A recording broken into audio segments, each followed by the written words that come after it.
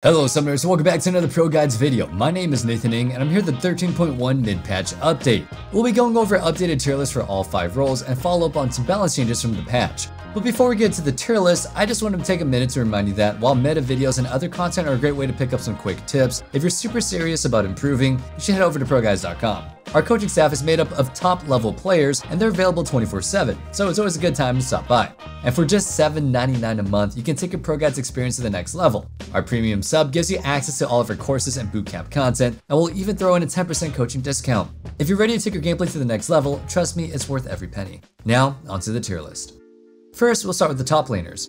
Ornn has suddenly spiked pretty hard this patch, so we're moving him up to the OP tier. Both Jak'Sho and Radiant Virtue are super strong on him right now, so think about which one is best depending on what your game needs. If you're a solo frontliner, Jak'Sho is definitely the better option. If you have some beefier teammates and you don't need a more selfish option to deal with your lane opponent, Radiant Virtue can be an extremely OP item to enable your allies in teamfights later.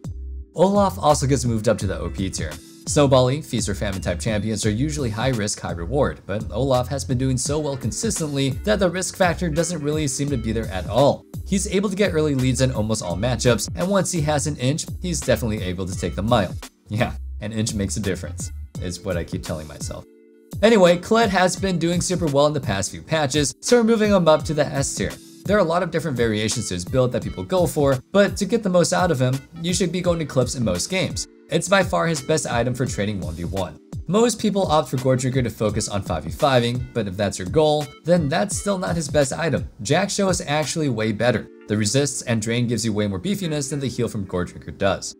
At some point, we removed Rengar from the top lane tier list, but we're adding him back. He takes a lot of master to really understand how to trade with him well, but once you learn how to do it correctly, he's a very versatile champion, able to beat almost anybody in lane. The buffs Rod of Ages and Seraph's Embrace were enough to make Ryze a solid B tier pick. You definitely do not want to blind pick him, as a lot of top laners will just run over you, but if you get a good lane and your team needs an AP carry over a tank, he could be a great option. Sett has fallen off a bit in the top lane, so we're dropping him down to the B tier. He does have a few good matchups, but even in those, his usefulness out of lane just doesn't seem that great right now. Tahm Kench is pretty much in the same boat as Sett. We're moving him down to the B tier. He can be a really good counter to a select few champions, but outside of shutting those pigs down, other tanks like Ornn or Maokai feel much stronger right now. We underestimated how badly the nerfs would hurt Mundo this patch, well, at least in the middle and upper ranks. In the lower ranks, he's actually still doing decently, but in plan higher, he's pretty awful. We'll be moving him down to the C tier. Maybe it's just a lowish amount of games to go off of, but Volibear is doing really bad so far this season. We'll be moving him down to the D tier, but consider this a bit tentative. If it does turn out to be a bad sample size, we'll bump him up later.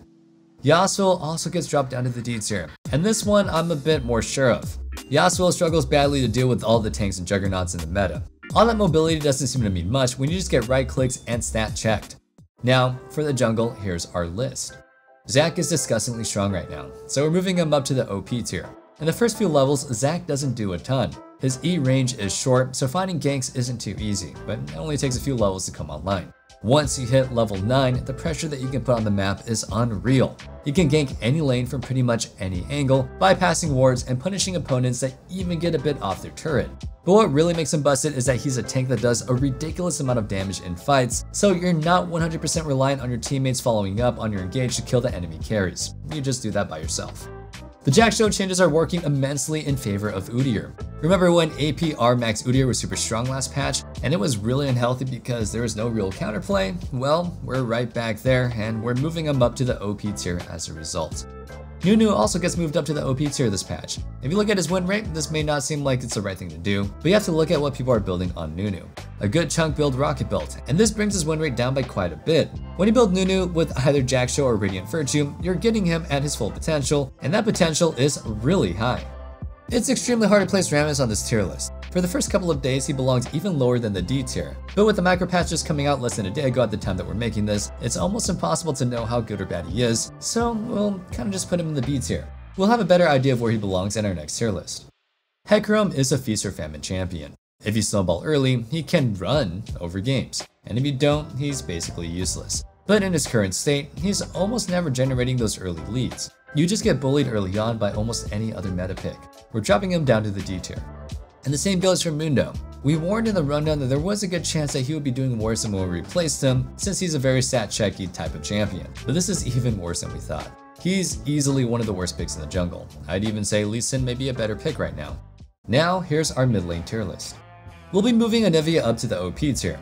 With Riot giving a big buff to both Rod of Ages and Seraph's Embrace this patch, it should be no surprise that Anivia could become so busted. I mean, those two items are already part of her standard core build, and she was already doing well lately. Anivia is just a safe champion in general, but right now there are literally no super good answers to her as a laner.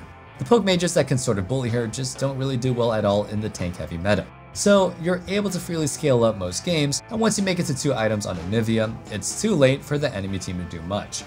Jace moves up to the tier this patch. We noted a while back that Jace mid is a lot better than Jace top, so when Riot tried to buff him to make him viable in his main role, we figured something like this could happen.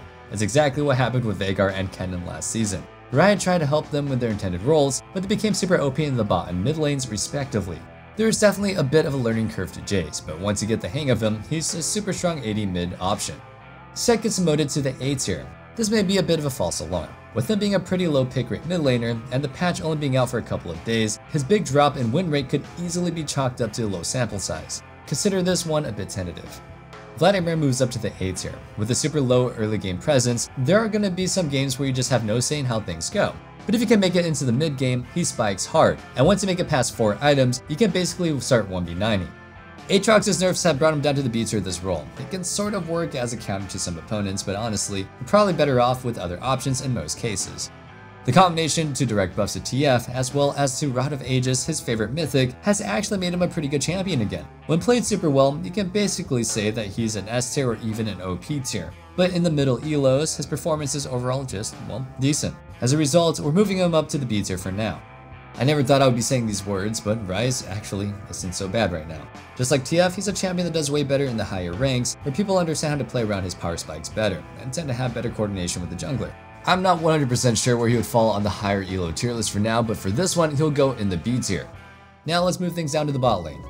It turns out we severely underestimated just how hard the seemingly small buff Xayah got meant to her.